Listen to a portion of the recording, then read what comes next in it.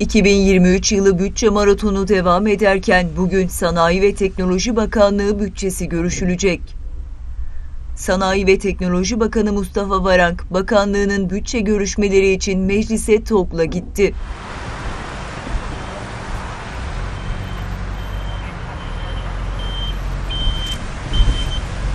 Türkiye'nin yerli otomobili TOG ilk kez Ankara sokaklarında yolculuğa çıktı.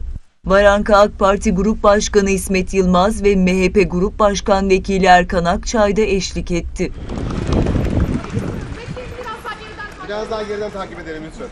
Bakan Varank tarihi anlardan sonra basın mensuplarına açıklamalarda bulundu.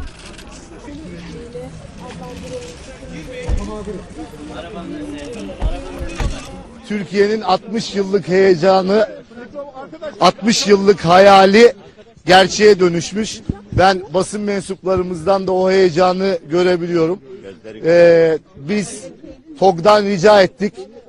Bütün izinlerimizi aldık ve bir plakası dahil, geçici plakası dahil test aracı olduğu için bugün meclisimize TOG'la Türkiye'nin gurur projesiyle geldik iki tane başkanımla birlikte.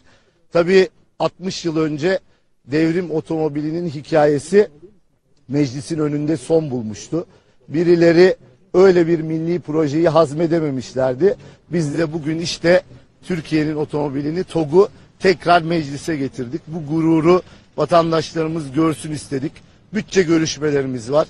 Bunlardan bahsedeceğiz. Aslında plan bütçe komisyonunda bana laf attılar başkanım. Dediler ki madem TOG var niye onunla gelmedin diye. Ben de muhalefeti dinliyorum. Onların tavsiyesine uygun bir şekilde TOG'u buraya getirdik.